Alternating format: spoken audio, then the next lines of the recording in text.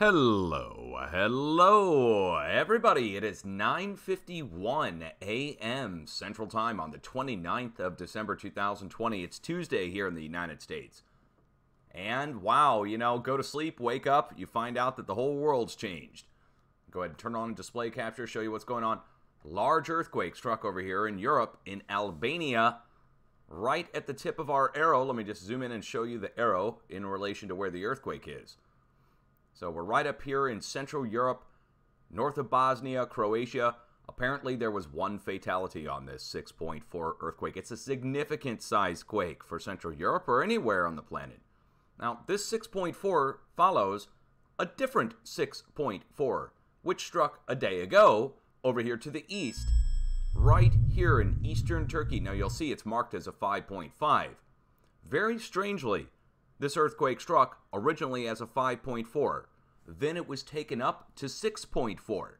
Then downgraded back down to 5.5. Now, why does it matter if it was taken up to a 6.4? Because a new 6.4 earthquake has struck downstream from the original 6.4 earthquake. So, whether they do a crazy downgrade on it or not, two days apart, we have two different 6.4s striking across Europe or Turkey and Central Europe. This is a big earthquake, and we know where it came from. It came from Turkey. But the energy from Turkey we can trace back all the way across over into quiet China with no seismic activity, which is suspect in its own right. We also have a line of earthquakes taking us back across into Siberia, Russia, with a 4.9 to 5.0 earthquake striking right next to our arrow. It's a lot of activity, and it's a big earthquake for Central Europe, again, causing damage and at least one fatality, unfortunately. I'll tell you, this is why it matters. It really matters. The magnitudes matter if they get them right or wrong. And yesterday, when they took it from a 6.4 down to a 5.5 here on the plate boundary, let's go over to the USGS plate boundary map really quick so I can show you the spot in question. The spot that was hit by 6.4 a day ago that they did a crazy downgrade on, right here where the two red lines come together. And look, look where the red lines go. Right up across Italy, the Adriatic Sea, and there's our earthquake up in Croatia. Croatia bordering on the eastern side of the red line. So this red line connects back to the spot that had a 6.4 earthquake. Now we have another 6.4 earthquake out across.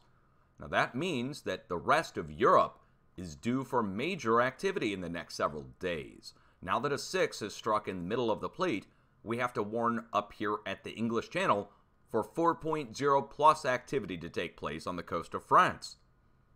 And it could be felt as far north as the Netherlands, where the arrow is going right across my People's Place. So in the Dutch Netherlands, we watch to the south, right along the coast of France. And people in the UK, you might actually feel this especially if it strikes out in the channel itself. Now, that's not the only significant sized earthquake to strike since my update last night. Let's jump back across the planet and go on the western coast of the United States, where a 5.7 earthquake struck off the coast of Oregon. And it didn't just strike anywhere off the coast of Oregon, it struck at the pinnacle tip of the eastern side of the Juan de Fuca fracture zone. Let me show it to you here. You see like a giant arrow pointing into Oregon? Now, in Oregon, a day ago, we were looking at the tremors that were flaring up in Oregon. Oregon, California, the little red dots that you see here on this map from the PNSN. And I don't know what's going on here. Apparently, we just died again. We did. We just died again as soon as I opened up the USGS site. Hmm, that's getting a little suspicious. Okay, so let's go back to yesterday's tremors really quick. And you'll see a cluster, four clusters of tremors across Oregon and Northern California. That's where we were yesterday. And now out to sea is our giant arrow shape right out here, pointing into where we were shifting. The southern arm of the Juan de Fuca, as I told you yesterday, shifting. And we would expect earthquake activity to accompany that and we were talking about the lack of earthquake activity in Oregon and off the coast of Oregon while this was shifting on land. So now that we've confirmed that it's shifting on land, again, you can see the tremors from yesterday here and move forward to the 28th. There it is. There's yesterday. Southwest Washington, Southwest Oregon. Now we are followed by a significant sized earthquake. We'll call it a near six striking out in the ocean. Well, with a near six out in the ocean off the west coast of the United States, we have to watch for 5.0 plus activity to take place going down across California, and we have to watch for near 5.0 activity to take place over in Oklahoma, going into Kansas. We have to watch for near 4.0 activity, maybe even bigger, to come in across Midland, Texas, Western Texas, Fort Stockton, Texas. And then, I don't normally have to issue warnings for them, but Dallas, Texas, over here on the east side of Texas, right where the arrow is, we have to warn you also for near 4.0 activity. So I'm expecting fives or something very close to it to be into Oklahoma, Kansas. I'm expecting fours or something very close to that to go across western Texas and central eastern Texas. And then to seal the deal, we would expect a new 4.0 range earthquake to strike up to the far northeast, Maine, New Hampshire, Vermont, somewhere right up here in the northeast edge of the north edge of the Craton. Oh, one other thing. A swarm also would be due on the new Madrid seismic zone. South Missouri, Arkansas, new outbreak taking place there. And then to wrap it all up, Southern California, or I should say Central California. Do you see where the rings overlap on our two sets of earthquakes? Look where they overlap. They overlap perfectly on Long Valley Caldera, where our warning is for a new 5 to strike in California, or a 4.9. So I've got a lot of warnings going now, especially in light of a 5.7 off the coast. That kind of puts it all together. Another open middle point here, right next to the Bay Area, Monterey Bay, creeping section of the San Andreas. We warned the Bay Area right here where the rings overlap for near 4.0 activity. We warned here at the border with California Nevada, where the rings overlap, for near 5.0 activity. Down to the south, we are also going to have to watch. This goes down right next to LA again. I would think North LA. Now that a 5.7 has struck, though, it's imminent. We're talking days or less for this all to take place. Should not take the full 7 to 10 days, or 7 days. Shouldn't take a full week on this should take just a few days for the energy to come in from the west coast of the United States and transfer across the North American craton. One more time, if you're just now tuning in, a near 6.0 earthquake struck right on the coast of Oregon, indicating that there's a new push coming in from the Juan de Fuca fracture zone. That means everywhere downstream, you see which way the giant red lines go, don't you? These are the plate boundaries, and then the thinner red lines are all the faults. But you can see which way it overall points. It's pretty obvious it just goes northwest to southeast across the coast of California, the San Andreas. But all the smaller faults also kind of doing the same thing along the California Nevada border. Same direction. Northwest to southeast, going right back up to where we shifted, up into Oregon. Over to the east, the edge of the craton speaks for itself. It's pretty easy to identify, and I would like to point out that the USGS map here is starting to get filled in. You notice this? Anybody notice it? Anybody notice anything about Colorado and New Mexico and the USGS fault zone map here now? How about Colorado, New Mexico, Texas on the Craton map? That's the map I've been using. Now let's just turn that off and look at their map. Notice anything? I told you guys they're going to update this at some point, and when they do, eventually you're going to see faults that they map and new faults detected, right? They, they won't know they're there. new faults detected that match the Craton edge going down through Texas, back up into Oklahoma, over to Arkansas. Notice USGS map doesn't have anything on here right now, and I think in the next few years you're going to see these little red lines doing the outside edge of the North American Craton. So far, so good coming out of Colorado, going down into New Mexico, and making a bend over into Texas. Have to show that to you because everybody well, every professional, just went bonkers and tried to say that there was no transfer of earthquake, nothing. They tried to even say there were no faults. They said it, no faults, no faults across the region. They said uh, USGS would have them marked. I said maybe they just haven't gotten out there and done the mapping on the faults yet across the United States. That was everybody's explanation like 10 years ago. Well, now look. All right. Anyway, getting back to the quakes 6.4 earthquake over in Europe, causing at least one fatality and major damage. That's in Albania, right next to Bosnia, just east of Italy. Basically on the eastern side of the Swiss Alps, or of the Alps themselves. And then a planet away, or half a world away, over on the west coast of the United States, a near 6.0 earthquake struck. That's going to increase things for the whole United States. A new push is coming in. And are we really that shocked that a 6 struck off the west coast of the United States in the same week that Hawaii blew? How about mid range 4 is going across the North Pacific? Sorry, guys, just got a little distracted. North Pacific, and then over to the west, multiple fives from yesterday. And the middle point here at the Solomon Islands was filled in today. Yesterday, this 5.0 earthquake struck between our two previous sets of quakes.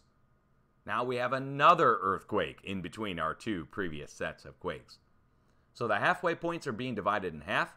I don't have anything else to show you other than the big earthquakes that struck in Europe and off the west coast of the United States. Once we get into South America, there's the other 6.7 that struck a day ago on the coast of Chile. So isn't that like three mid range to upper sixes in the last 48 hours? Again, I am counting this earthquake over here in Turkey, this one right here that they did the crazy downgrade on, I'm counting it as a 6.4, especially in light of the new 6.4 that just struck in Albania that killed a person. This is proof why you don't change or ignore seismic data. Just like we wouldn't change or ignore weather data. We wouldn't change it around. Oh, this storm looks like it. Well, it's showing such and such on the radar, but let's just go ahead and take it down by one intensity. Let's change the color code on the radar so it's not red anymore. We'll change it from red to yellow, just so people don't get panicked. Imagine if the meteorologist did that. And then a tornado forms, right? Like it's a severe storm coming in. It's bright red on the radar. Some goofball at the National Weather Service comes in and says, you know what? We don't want to panic anybody here. So let's just take all that bright red on the radar and edit it and change it down to yellow. And then we won't issue any warnings either because it's yellow, even though it really is bright red on the radar. And then a tornado forms downwind, downstream, downflow, and you're shocked to find out a tornado formed off this yellow storm that's not intense. Wouldn't you call that? I mean, and then somebody dies because of that.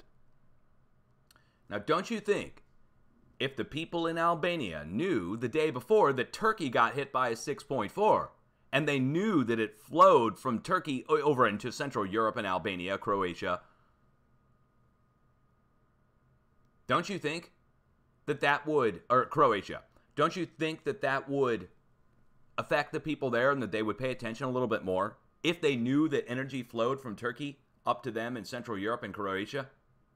And don't you think if they saw a 6.4 and they knew that flowed to them, that they would then pay attention downstream? It's like a flood. And I'm watching a bunch of people get hit with floodwaters who just don't know that a flood's coming at them. But you try to show them, and professionals step in the way and try and stop you from showing them and deny it and do all this other craziness. Just insane. Oh, wait, hold on. We've got a new earthquake. Hold on. Hold on, everyone. Hold on. We we've got a new 4.6 in North Italy now. My goodness gracious, let's go back over and show you. Up in North Italy right here. See where the red line is. A new mid-range 4 just struck in Nogara, Italy. At what time? Hold on. Let's get the time on this. Man, okay, wow, things are moving in Europe, guys. This is enough to get people's attention over in Italy for sure. It struck at 1436 UTC. What time is it now? 1605. So an hour and a half ago. An hour and a half ago, a new 4.6 on top of the other 6.4 over to the east. So I'm just going to say it. The whole plate boundary is shifting. Over to the east, these are parallel to each other. If not exactly parallel, almost perfectly parallel. Same latitude. L- let's make sure about that, actually. Let's go see. So our latitude is 45.42 on the 6.4. And on the 4.6, we are at, well, 45.20. So we're 0.2 degrees off latitude. In other words, these are on the exact same latitude. They're both at 45, parallel to each other. Hours apart, both significant, one on the plate boundary in Italy, one over to the east on the arrow on the mountain range, connecting over into the plate boundary into Italy. And that's the Alps, of course, the mountain range across South Europe amazing stuff going on there. That is just wow. Okay. So if anything else goes down, I will jump back on at a moment's notice. I think I should probably save this just short little update just telling people about the earthquakes. Save the information, put it out over on a video on YouTube so people can watch it back. I would suggest going and watching my video from yesterday, which is doing pretty well actually over on the tubes. Let's just go take a quick look at my YouTube channel, show you what we're talking about. New deep earthquake event underway. Let me turn all this gobbledygook off on the side.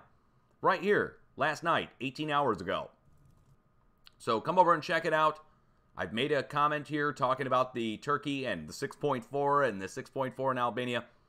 Well, actually, I shouldn't need to change that to Croatia. Sorry. Sorry, guys. Ah, everybody's going to get mad at me. People are like, ah, it's not Albania.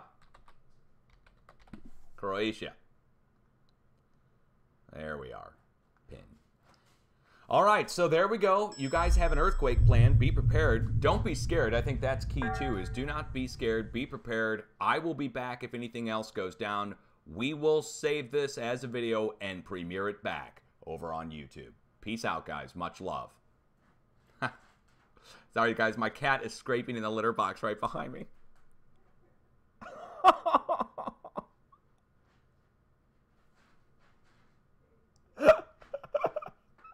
Ah, oh, Mr. Gadget. He's dropping a deuce. Okay. All right, we're out of here. Hey, the cats love it. The cats love it.